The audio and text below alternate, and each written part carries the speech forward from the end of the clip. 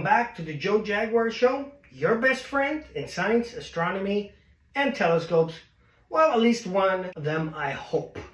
Anyway, we have the 12-inch Dobson here, and we're going to go outside. So, you know, when it's in the spring, it's normally called the galaxy season, and normally that's going to be hard from the city. So from the spring, uh, besides like um, the Beehive, M67, M111, one or two more clusters.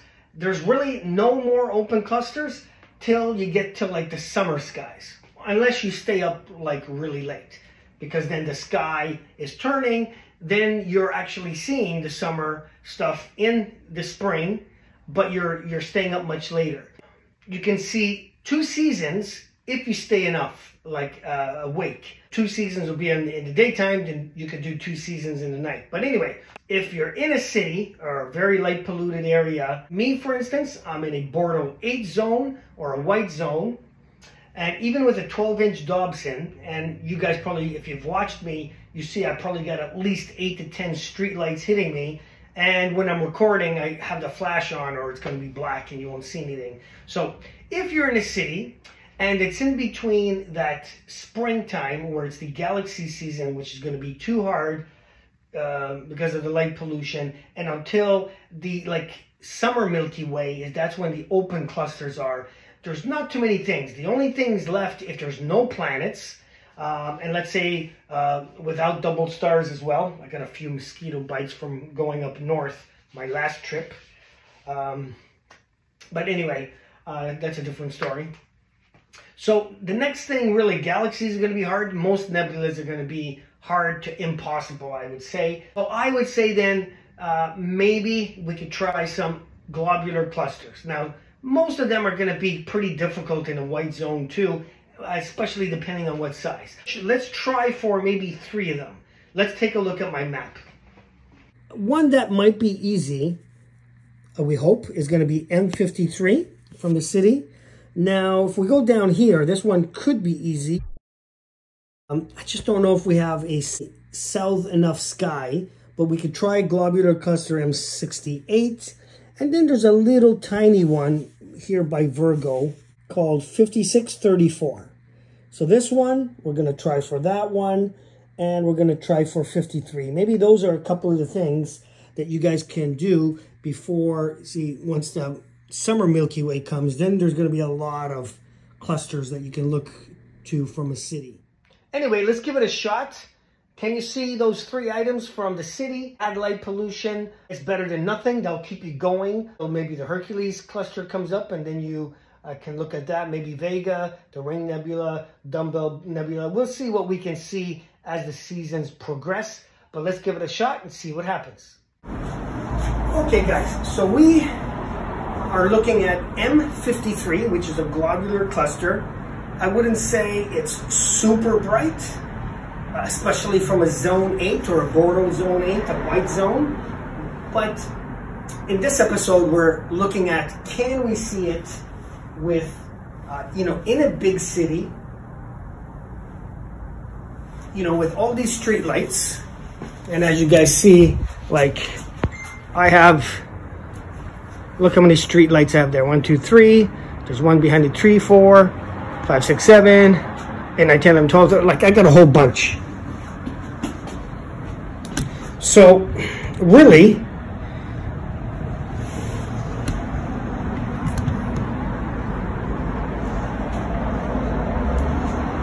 So really, if you guys are even in a Bortle 8 like me, and you have no street lights and it's pure darkness, you'll see it even better.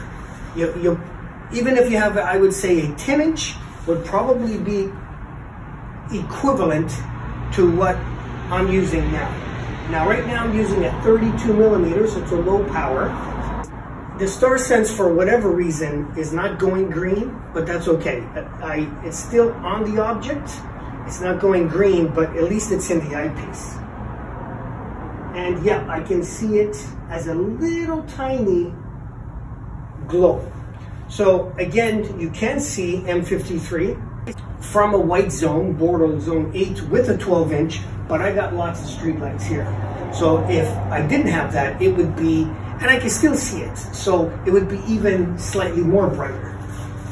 Okay, if we pop now, I believe this is a 9.7 millimeter. sorry, this is a 12.4 millimeter. It is a little bit bigger and a little bit brighter, but it's still kind of like a fuzzball. Now, if you were in the country skies, or maybe if I had no street lights, um, maybe I could see kind of individual stars.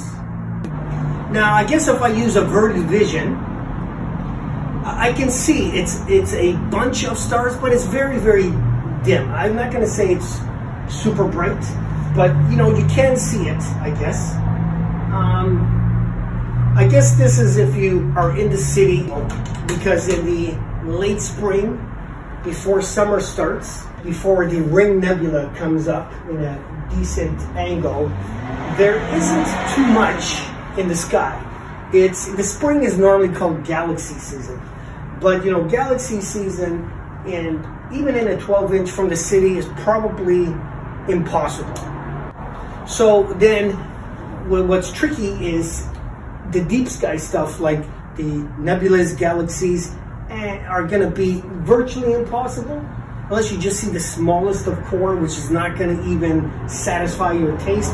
But let's that's why we're trying globular clusters. Since there's no open clusters from the beehive, and Mel 11 all the way, you know, at a previous videos, we've seen the Beehive M67, uh, MEL 111, But besides uh, M3 and 5, uh, this might be the next brighter one. And then, um, you know, there's nothing really, there's no open clusters till, you know, the summer starts.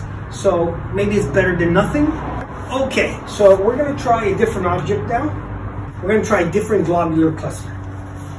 Okay, so let's try this one. This one is probably even dimmer. 5634 NGC, a 9.5 globular cluster. So let's see if we can, oh wait a minute. Uh, yeah, it's gonna be on that angle. And as you can see, uh, we're hitting the fence now. Okay, I am going to move the telescope I could move it on the cement part, but let's see if that's enough now. And let's see if it's still aligned. Mm, that might be just over the fence. Okay, again, for some reason, the star sense is not turning green. It happens once in a while, but as long as it's in the eyepiece, it's fine.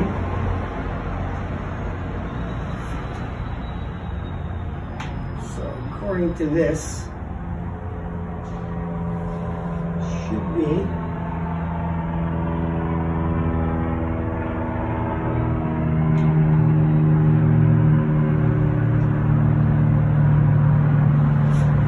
don't see anything.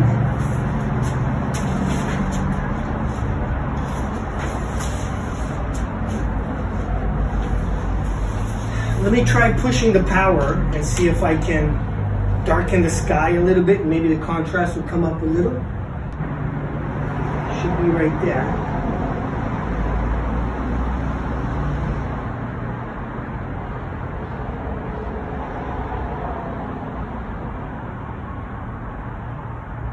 Not really seeing it, so I'm gonna say no. Okay, so let's see. Oh, M68. Oh my God, no way. Uh, there's no way I'll see it. It's just way too low. Okay, never mind. Feel pretty good. And again, remember, if you guys can shield, even if you're in a white zone, which is the worst, okay, uh, or Bortle zone 8, and maybe if you have a 10 inch, you're probably going to see it as I'm seeing it with a 12 inch. You're gonna you're gonna compensate that two inches by not having all these street lights and not having this flash in my eye. Maybe even slightly less. Maybe it's probably more equivalent to a nine if it's completely dark. So take that into consideration. Um, if you're in like a Bortle zone 6, let's say, with an 8 inch, you're probably going to see it how I'm seeing with the 12 here. So size and light pollution go kind of hand in hand, but definitely if you guys are in the city and you know the spring stuff, the galaxy se season and the spring stuff is just too hard. There's no kind of open clusters besides the few. Uh, so then the next best thing is go for the globular clusters. And it might not be the best, but there's definitely a couple for you to look at. Now, maybe we could have seen a bit more, but I would have to go over the fence, and I just don't want to do that. One time, what I did when looking, uh, I can't remember, in the winter time, I don't know if you guys remember, it's about, not last year, the year before, I put a coffee table here, and I put the telescope on top of the coffee table, the dog's in, and then that way I can see over the fence. Um, I can't remember if that was for M41 or whatever, but uh, anyway, you could do that. Anyway, guys, that's it for this video. There's your three objects to look at, but that one, um, it was just too dim, I couldn't see. M68 could be possible, right, but it's just too low in the sky. My fence won't get that low. Whenever it's clear, give it a shot. I mean, don't be disappointed if it looks very dim. If you're in the city, give it a shot. You can always look it in the city, and then maybe when you go to the country, check it out again, see what the difference is, and you guys tell me, is there a big difference or, or not? Comment, subscribe. I'll see you on the next video. Uh, if you know anybody getting into the hobby, please share my link with them. And if you guys are on the forums, if somebody's asked about a video like this, observing from the city, uh, share my channel link with them again. Um, also, I do have members video where once a month I post a video just for the members. It never goes live, and I try to put your name in the description, so that's you get. And it's only 99 cents to see that one video, and it helps support the channel to grow so I can give you guys more content. Anyway, guys, why not you? Why not me?